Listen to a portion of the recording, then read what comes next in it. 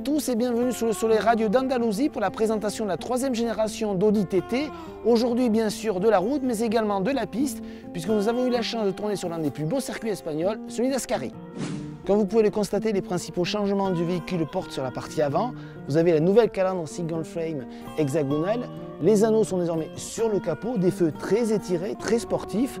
Donc au global, un véhicule qui change peu dans ses formes générales, notamment au niveau du profil qui reste similaire, mais un avant qui est vraiment transformé.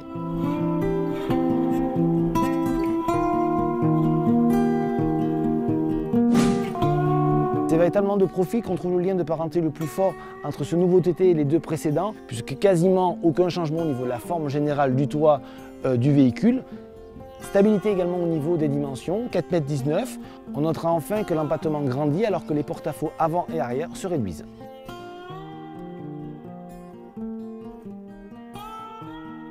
À l'intérieur de ce nouveau TT, c'est une véritable révolution puisqu'en effet, l'instrumentation classique disparaît pour être remplacée par un écran euh, haute qualité 12,3 pouces qui propose deux types d'affichage, soit alors classique avec le compte-tour et le compteur bien sûr, ou alors un basé sur l'infodivertissement avec le GPS en plein milieu de l'écran, très haute qualité, relativement impressionnant.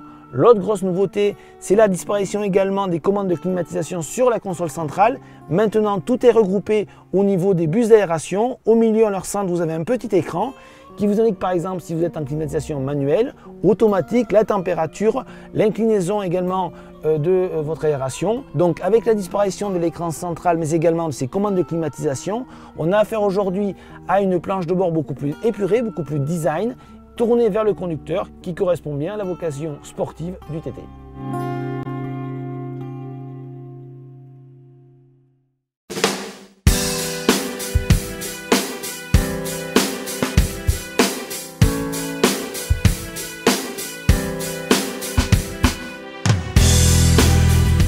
Donc nous voici roulant maintenant de ce nouveau TT. Au niveau des moteurs, à l'occasion de ce lancement, il y aura une offre diesel, le 2 litres TDI 184 chevaux, un essence, le 2 litres TFSI de 230 chevaux. Viendront plus tard une version 180 chevaux essence et surtout le TTS de 310 chevaux. Aujourd'hui, pour notre essai, on a donc le 230 chevaux essence, le 2 litres TFSI, couplé à la transmission Quattro, mais également à la boîte automatique S-Tronic. Un mariage tout à fait convaincant. Le moteur est coupleux, aux environs de 370-380 Nm de couple.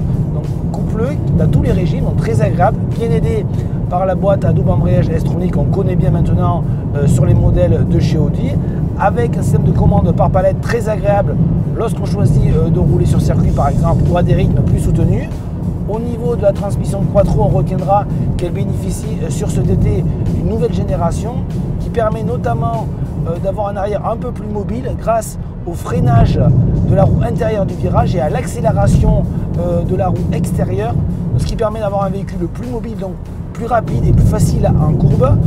Pour le reste, au niveau des sensations, bien sûr, c'est une sensation d'efficacité, de facilité de conduite qui domine. Alors bien sûr, on peut reprocher un manque de sensations, notamment des sensations qu'on peut retrouver sur nos véhicules de propulsion, mais ce qui prédomine dans ce TT, je le répète, c'est l'efficacité, la sécurité et aussi la facilité de prise en main.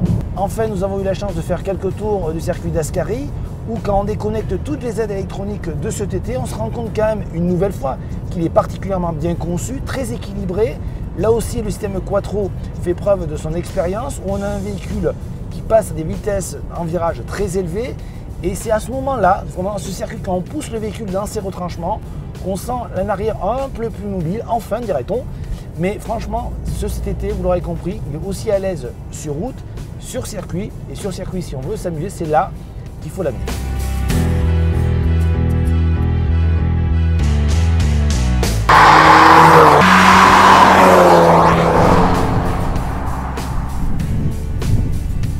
Alors que retenir cette troisième génération d'Audi TT Bien tout simplement, comme le bon vin, il se bonifie avec l'âge. Pourquoi? Il devient plus expressif, plus agressif au niveau du style.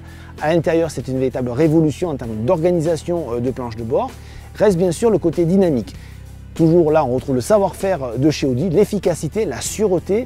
Mais le petit plus de cette troisième génération de TT, c'est qu'il devient un peu plus ludique. Et ça, forcément, nous, on apprécie.